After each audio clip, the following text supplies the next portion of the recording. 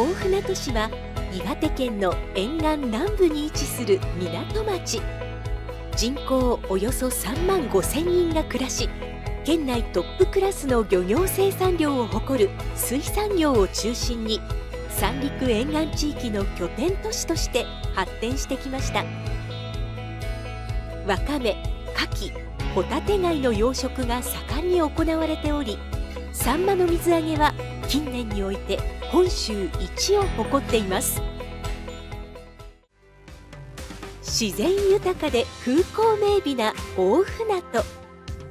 花の百名山の一つで三陸沿岸の最高峰五葉山県立自然公園や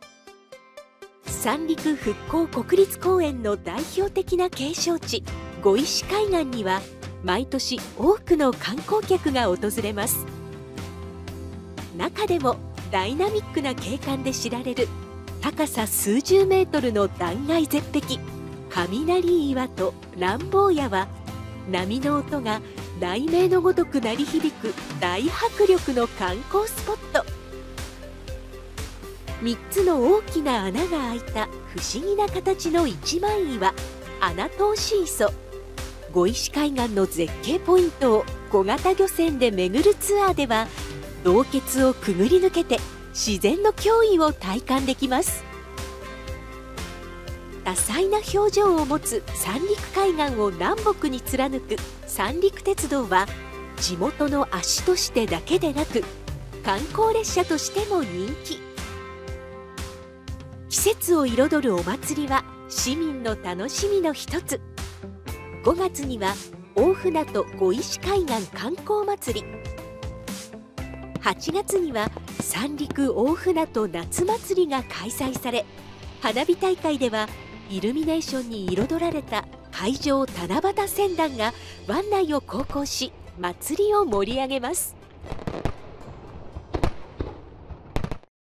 そんな大船渡の市の花は椿。太平洋沿岸のヤブツバキの北限域であり市内の至る所に椿が自生していることから大船渡市は椿の里とも呼ばれています。町のシンボルともいえるのが熊野神社にそびえ立つ三面椿。樹高17メートル根元の外周8メートル樹齢およそ1400年と言われている歴史のある大きな椿です。世界の椿館5石では13カ国から集められた600種の椿が楽しめます。見頃のピークに合わせて開催される椿祭りには市内外から多くの観光客が訪れにぎわいます。こう乙女という椿があるんですけどもこれが樹齢70年ちょっと過ぎています。館内でも一番大きな鉢にですね植えて皆様をお迎えしております。2011年3月11日東日本大震災が発生。大船渡市も甚大な被害を受けました。それでも国内外から多くの温かいご支援をいただいたおかげで復興へ向けて少しずつ前へと進むことができました。市の基幹産業の一つである水産業は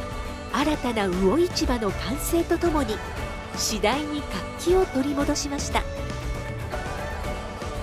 線路や駅舎に壊滅的な被害を受けた三陸鉄道は震災から3年余りで全線復旧。大船渡駅周辺では津波復興拠点整備事業が進められ商業施設も続々とオープン。にぎわいや憩いをもたらす新たな街が誕生しました。復興へと立ち上がった大船渡の人々を支えたもの。その一つが町のシンボル椿でした。椿を生かしたまちづくりを推進している大船渡市は町を椿の花で彩るべく椿の植樹を行ってきました。震災後は各方面からご支援いただき企業のサポートによる植樹会も各地で開催されています。小中学校では椿を通じて町について学ぶ椿学習プログラムが実施され椿油作り体験や椿関連企業等との交流を通じて地元に愛着を持ってもらうとともに椿の活用方法を知る場を提供しています。市内には大船渡はじめ三陸の椿を活用した商品を開発し製造販売している企業があり椿を通じて地域を盛り上げています。商品増やしていこうっていう話になった時にうちの会社のお母ちゃんたちの中からその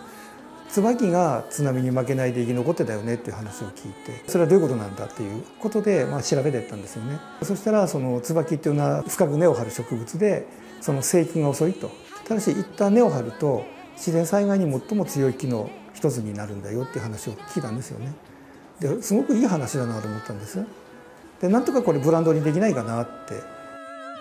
市内でネイルサロンを経営する及川さんは毎年大船渡椿祭りで椿油を使ったマッサージやネイル施術などの体験メニューを提供。訪れる方に椿の魅力を伝えてきました。お正月あたりのあとは成人式で大船渡なら椿でしょっていうのでネイルのデザインに椿を出される方が多いです。椿を通して大船渡っていうもあのそのこの土地を知っていただきたいっていうのもありますし大船渡に住む人、うん、もたくさん魅力的な方椿のようにねたくさん魅力的な方がいらっしゃるのでそういった方とこうご縁がこう椿を通してつなげていければなっていうふうに思っています。震災から10年以上が経過し被害に遭った市内の中心部にもにぎわいが戻っています。市内を彩るたくさんの椿とともに